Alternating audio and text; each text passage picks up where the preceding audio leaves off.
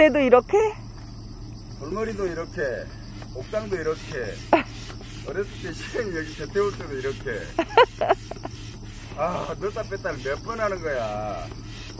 여보, 바람 넣어서 완전체를 위에다 싣고 다니죠. 편하게. 아이, 왜 그래. 바람 날려서 안 돼. 빨리 해. 아, 요거 한번 해보려고, 요거. 자요. 요거 한번 해봐. 우리 이렇게 몇 찍었는데 살이었죠? 네 살? 네 다섯 살. 아, 이거 그때 쓰고 다니 진짜 이뻤는데. 너무 예뻤죠. 시원해. 시동 끌까?